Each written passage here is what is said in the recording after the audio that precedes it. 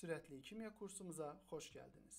Bugün haqqında danışmalı olduğumuz mövzu halogenlərdir. Mövzu üzrə nəzərdən keçiriləcək alt başlıqları ekranda görürsüz.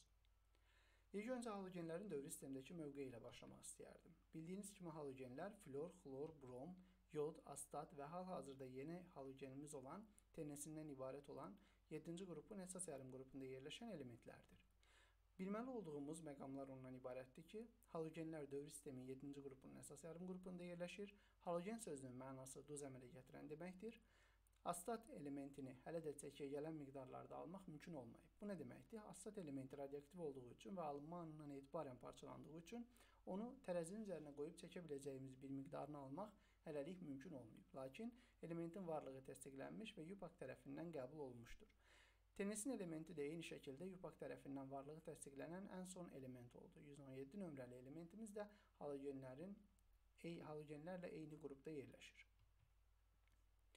Atom quruluşları ilə tanış olarkən belə bir cədvəl nəzərdən keçirməliyik. Bu cədvəldə gördüyünüz kimi kimyəvi elementlər, yəni halogenlər elə halogen elementlərimiz verilmişdir. Halogen elementlərinin atom nömrələri, Lewis strukturları, atom kütlələri, radiusları və ərimə temperaturları göstərilmişdir.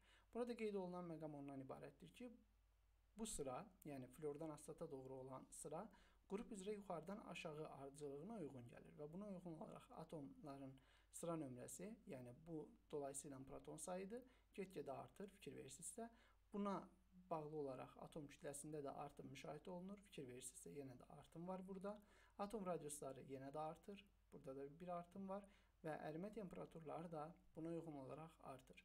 Dəyişməyən isə elektron quruluşlarıdır. Lewis strukturundan da göründüyü kimi bütün halogenlərin xarici energetik səviyyəsində valent təbəqəsində belə deyək 7 elektron yerləşir. Bunu da buradan özünüz saya bilərsiniz. Xarici elektron təbəqəsindəki elektronların sayı elementin ətrafını nöqtələrlə göstərilir. Bunu biz kimyəvi rabitə bəhsində nəzərdən keçirmişdik. Halogen atomlarında həyəcanlanma haqqında danışaq. Bilməlisiniz ki, xarici energetik səviyyəsində d orbitalı olmadığına görə flor atomunda bu həyəcanlanma baş verə bilmir. Yəni flor həyəcanlı hala keçə bilmir.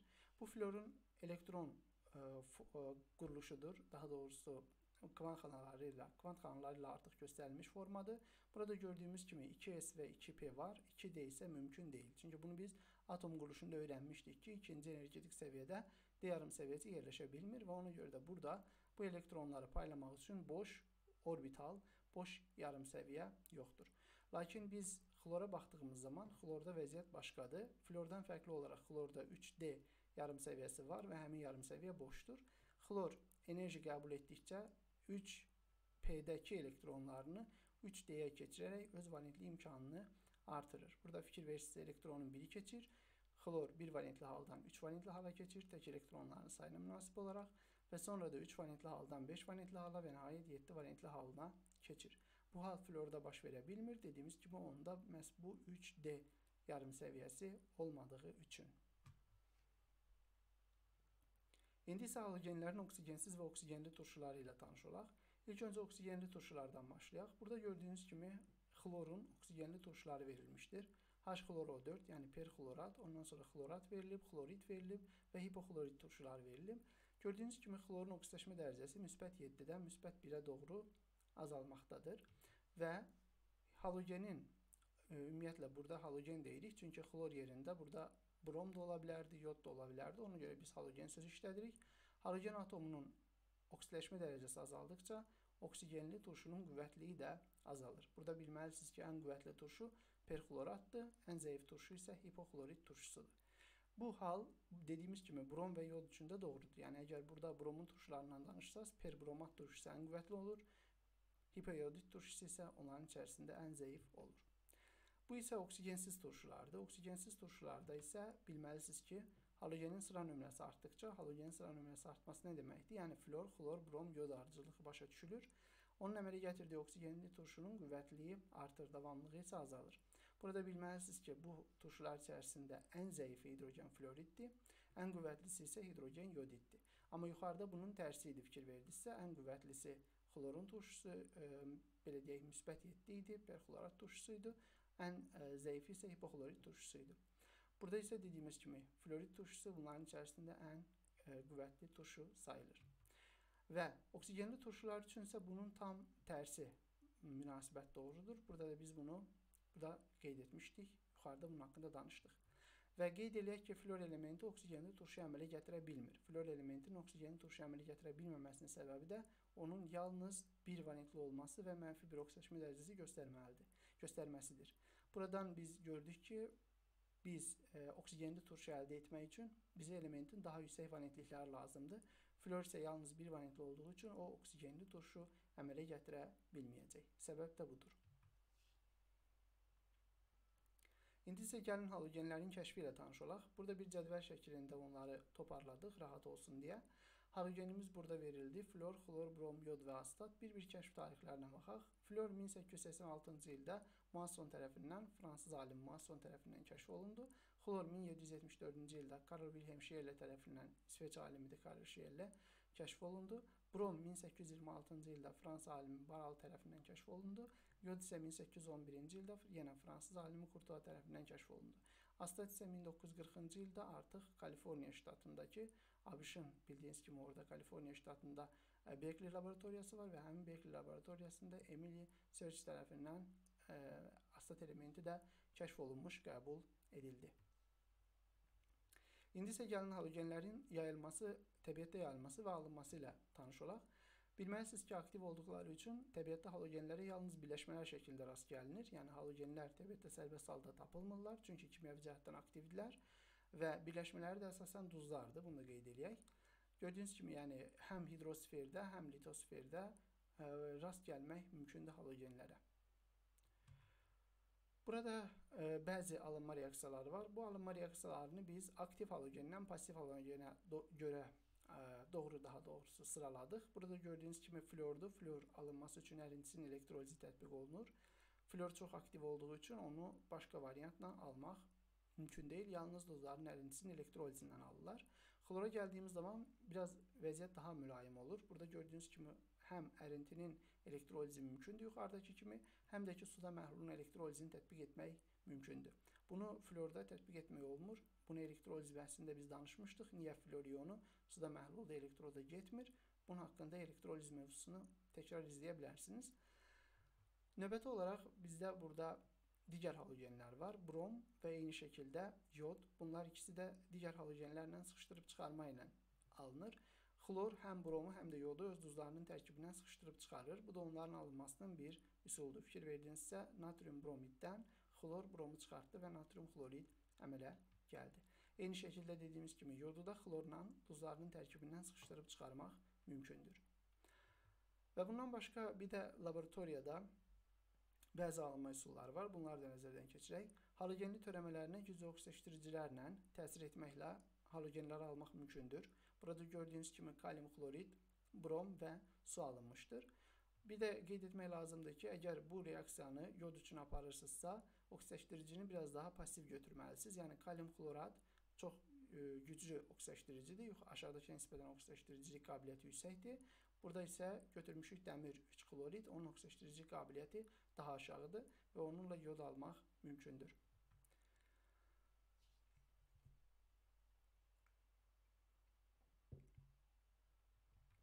Növbəti slaydımızda halogenlərin fiziki xassələrlə tanış oluruq.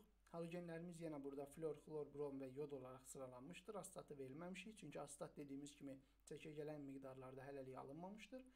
Aqreqat halına gəldiyimiz zaman flor qazdır, xlor da qazdır. Xlor flordan as ə, e, fərqli olaraq daha asan mayeləşir. 0.6 megapaskal təzyiq altında artıq xloru mayeləşdirib balonlar doldurmaq mümkündür. Brom maye halda olur, ə, e, yod isə bərk halda olur. Fikir verdinizsə yuxarıdan aşağı gəldikcə aqreqat halı qaz asan mayeləşən qaz, maye və bərk şəklində dəyişir. Burada bunu aqreqat hallarını da bu şəkildə görə bilirsiniz. Rənglərinə gəldikdə isə sarı, sarımtıl yaşıl, xlor üçün sarımtıl yaşıl dedik. Brom üçün qırmızı qonur dedik və qara bənövşəyi rəng yod kristallarının rəngidir. Burada rəngin də tündləşməsinə fikir verin. Sarıdan sarımtıl yaşıla, sonra qırmızı qonura, sonra qara bənövşəyiyə keçir. Və aqreqat halını da ki, az öncə demişdik. İndi isə gəlin halogenlərin kimyəvi xassələrindən danışaq. İlk öncə bilməlisiniz ki, halogenlərdən flor bütün e, bəsit maddələrlə qarşılıqlı təsirdə olmaq imkanına malikdir. Burada reaksiyaları siz görürsüz. Hətta Ksenonla belə fluorun birləşməsi var. Fluorun e, biz qeyd eləyəcəyik ki, suda məhlulunu almaq mümkün deyil, çünki fluor su ilə reaksiyaya daxil olur və HF plus O2 alınır. Belə bir məhsullar əmələ gəlir. Ona görə fluorun suda məhlulunu almaq mümkün olmur. Bunu da yadda saxlayırıq. Növbəti olaraq fluorun hidrogenlə reaksiyasını görürük. Hidrogen fluoridin alınması. Növbəti olaraq fluorun, e, xlorun daha doğrusu hidrogenlə reaksiyasını görürük. Bir qeyd eləyək ki, hidrogenin fluorla reaksiyası qaranlıqda partlayışla gedir, lakin hidrogenin xlorla reaksiyası isə e, daha mülayimdir. Yəni üzərinə işıq şüası düşdüyü zaman baş verir reaksiya. Digər halogenlərə gələndə isə brom və yodun hidrogenlə reaksiyaları qızdırıldıqda gedir. Bu da halogenlərin passivliyinin necə artdığını əyani olaraq göstərir. Fikir verdinizsə, fluordan broma doğru getdikcə halogenin passivliyi get-gedə artırdı. Növbəti olaraq xlorun su ilə reaksiyası görünür burada. Yuxarıda biz fluorun su ilə reaksiyasını nəzərdən keçirmişdik. HF plus O2 alınmışdı. İndi isə biz xlorun su ilə reaksiyasına baxırıq. Burada da hidrogen xlorid və e, xlorid turşusu dediyimiz e, turşu əmələ gəlir və hipoxlorid turşusu əmələ gəlir. Xlorlu suyun ağarıcı təsiri məhz bu hipoxlorid turşusunun mövcudluğu ilə bağlıdır. Eyni şəkildə brom da su ilə analoji reaksiyaya daxil olur. H brom bir də H bromo əmələ gətirir. Burada qeyd olunmalıdır ki, halogenlər bir-birlərini duzun tərkibindən sıxışdırıb çıxara bilirlər. Daha aktiv halogen, daha pasiv halogeni duzun tərkibindən sıxışdırıb çıxarır. Burada fikir verirsinizsə, kalium xlorid florla təsir olunduğu zaman kalium florid və xlor əmələ gəlir. Yəni xlor duzun tərkibindən ayrılır, sərbəst hala keçir. Eyni şəkildə biz xlorla bromu sıxışdırıb çıxara bilərik və bu analogiya doğrudur, bunu bilirsiniz. Növbəti olaraq biz burada fosforun halogenli törənməsinin su ilə qarşılıqlı təsirinə baxırıq və burada gördüyünüz kimi hidrogen yodid və H3PO4 əmələ gəlir. Biz burada bir də başqa bir reaksiya vermişik. Burada sulfat turşusu qatı halda götürülmüşdür. Florun duzlarından, e, daha doğrusu florid turşusunun duzlarından, burada kalsium floriddir. Florid turşusunun duzlarından hidrogen floridi ayırmaq üçün ona qatı sulfat turşusu ilə təsir olunur və buradan kalsium sulfat əmələ gəlir həmçinin.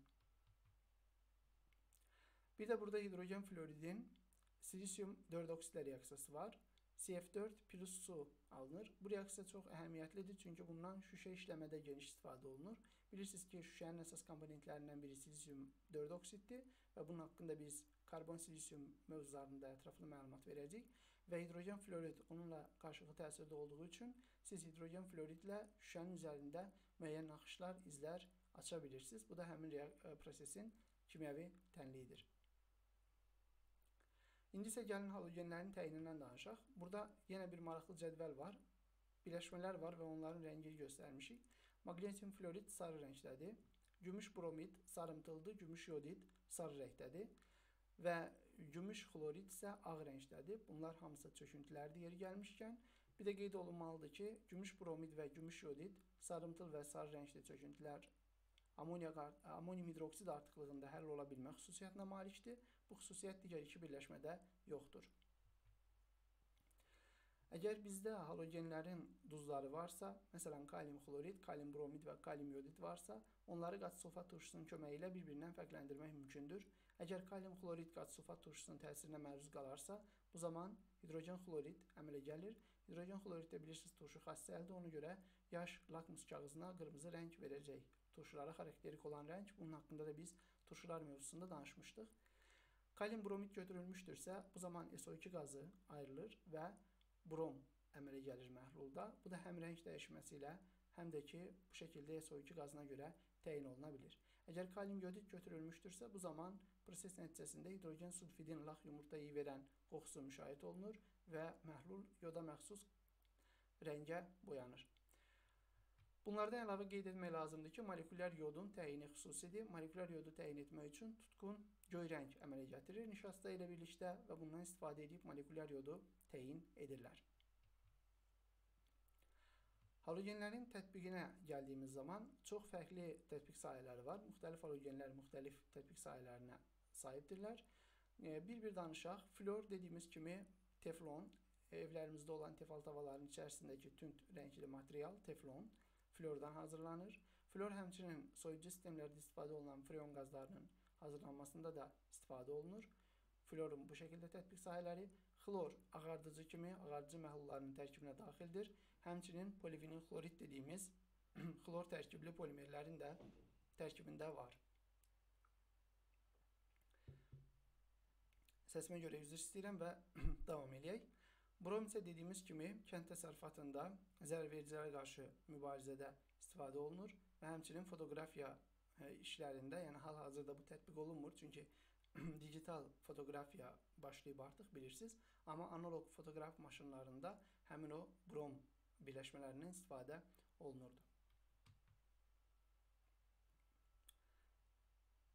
Beləliklə bir mövzunun daha sonuna gəldik. Diqqətiniz üçün təşəkkür edirəm. Sağ olun.